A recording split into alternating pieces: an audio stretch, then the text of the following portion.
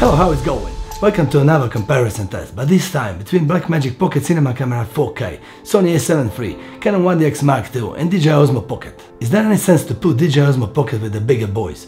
We're about to see. It's not gonna be scientific test with every single detail, but rather true field test in real situation from three different cinematographers. Footage from all three cameras is of course in 4K, so the setup is Blackmagic Pocket Cinema Camera 4K ProRes 422. Profile is film style. Lens is Sigma 18-35 f1.8. Metabones speed booster 0.71 on Moza Air 2. Then we've got Sony a7 III S-Log 2 with Zeiss 55 f1.8 on Zhiyun Weebill Lab. Canon 1DX Mark II Marvel Advanced Semi-Flat Profile with 35 f1.4L on DJI Ronin S and finally DJI Osmo Pocket will use Cine like day. As we know, Canon 1DX Mark II doesn't have true C-Log, like the smaller and cheaper Bravo 5D Mark IV. Shout out to Canon for that. So for this reason, I used Marvel Advanced, which is able to hold a lot of information. Yeah, I could use James Miller C-Log 3, which is very similar to Canon C-Log 3, and which I use very often, but for this purpose Marvel will be more than enough. Also, I'm not gonna do heavy color grading, so you'll get the most realistic picture from each camera and to choose which one you prefer the best, in case you're in doubt what to buy.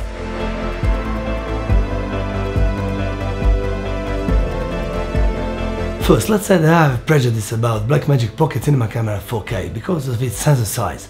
I'm not a big fan of Micro Four Thirds sensors, but in this case, footage from this camera surprised me pleasantly. With Metabones Ultra 0.71, you're gonna reduce crop size to 1.4, which is close to APS-C or S35 cameras. If you've got plenty of full-frame lenses with Metabones XL.64, you can go even further and reduce the crop size to 1.3, which is APS-H, or the same like 1DX Mark II in 4K. Also, you're gonna get 1.3 stop in lens apertures. 5-inch screen is much bigger and more useful than the screen size we got used to on DSLR and mirrorless cameras, but brightness could be much better. One downside might be the price of this Metabones, which is $650, but even then, this camera will be 3 times cheaper than my 1DX Mark II. Also, if your priority is autofocus, this camera is not for you. Battery will last only 45 minutes, so getting a lot of them is a must. Or you can buy some external bigger battery. It's no big deal, but just to let you know. On bright sunny day, I had a problem to see every detail on a screen, so sunhood might be wise decision to get with this camera. Otherwise, for this price and capabilities, I can recommend this camera like a major go.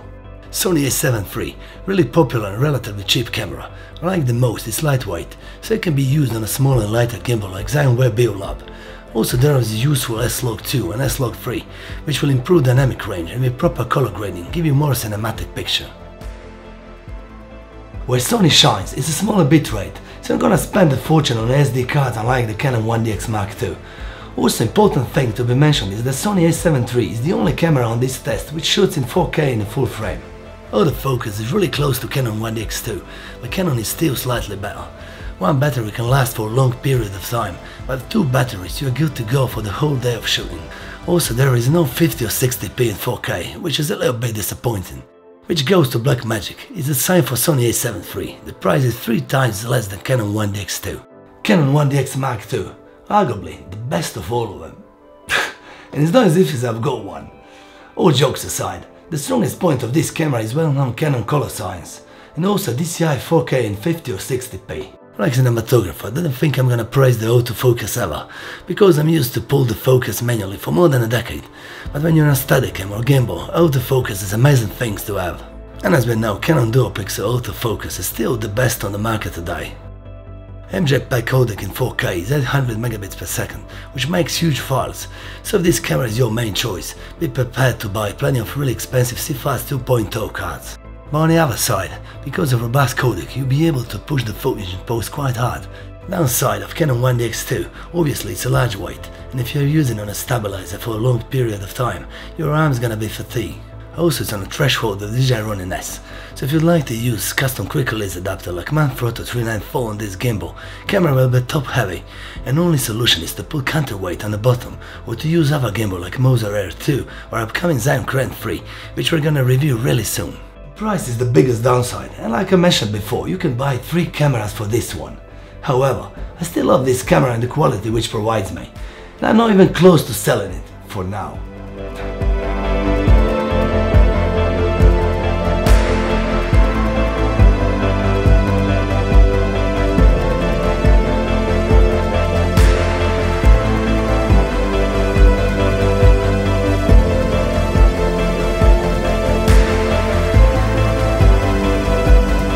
DJI Osmo Pocket, obviously not professional but true pocket camera. It's lightweight, best for travel, manual controls, it has 3-axis gimbal, and like you saw with D, can produce really nice picture for such a small camera. On the downside, battery lasts only about 60 minutes in 4K 50 or 60p, and it's not exchangeable.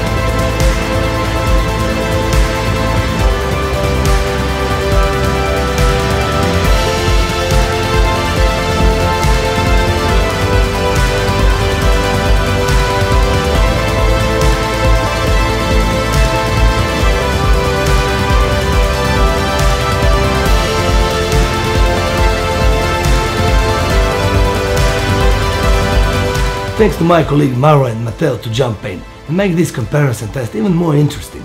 You can find the links to their channels in the description. So at the end, you should decide which camera is the best for you. I got a great time filming this test and I hope you got the same watching it. From now on, I'm gonna try to upload every single week, so stay tuned, cheers!